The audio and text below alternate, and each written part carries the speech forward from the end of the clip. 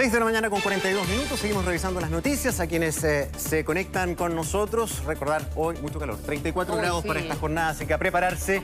Y vamos con un tema que también está bien eh, elevando la temperatura de la discusión. Eh, se reinstala lo del penal Punta Peuco y un eventual cierre. Sí, una publicación del sitio Exante aseguró que el gobierno se alistaba a cerrar este recinto como parte de su agenda conmemorativa de los 50 años del golpe militar. La moneda descartó la publicación, pero de todas formas se reinstaló una promesa de campaña del presidente. Hay una nota que preparó el periodista Agustín Bianchetti con todos los detalles. A 50 años del golpe militar, estas palabras del entonces candidato presidencial hacen más sentido que nunca. Por cierto, cerraría Punta Peuco, eso que no quede ninguna duda. No queremos ningún tipo de cárcel con privilegios especiales. Punta Peuco volvió a la palestra, pero esta vez con Gabriel Boric como presidente de la República. Según consignó el medio Exante, el gobierno ve la conmemoración del golpe de Estado como un escenario ideal para cerrar el recinto, que hasta la fecha alberga 129 exagentes del Estado y militares en retiro, condenados por crímenes de lesa humanidad. que entendemos y vemos al penal Punta Peuco como parte del andamiaje de la impunidad. Deben ir a cárcel común quienes son responsables del genocidio. A nivel mundial está demostrado que la segregación carcelaria es importante.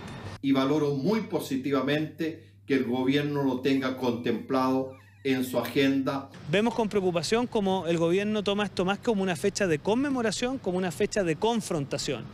Una polémica decisión que Michelle Bachelet no pudo lograr durante su mandato, luego de que el entonces titular de justicia Jaime Campos se negara a firmar el decreto, lo que en su momento generó duras críticas del ahora presidente de la República. Presidente Boric, hoy se justifica plenamente la existencia del penal de Punta Peuco. Una decisión del cierre de este penal es arbitraria e ilegal. Aquí se está vulnerando el derecho a la vida y a la integridad física y psíquica de cada uno de los internos. Punta Peuco no es un recinto penitenciario especial. En Punta Peuco hay personas con Alzheimer, con demencia senil, con eh, enfermedades crónicas severas. Las gestiones para cerrar el penal habrían comenzado de la mano del subsecretario de Justicia Jaime Gajardo. Según el medio digital, se habrían llevado a cabo varias visitas técnicas al penal Colina 1 para ampliar uno de sus módulos donde serían trasladados los internos de Punta Peuco.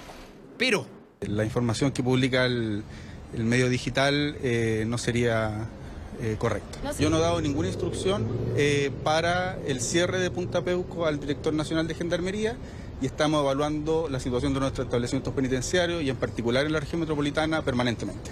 Aunque el gobierno descartó por el momento el cierre del penal, la defensa de los internos ya prepara un recurso de protección para evitar a toda costa el traslado de los reos en un año más que simbólico.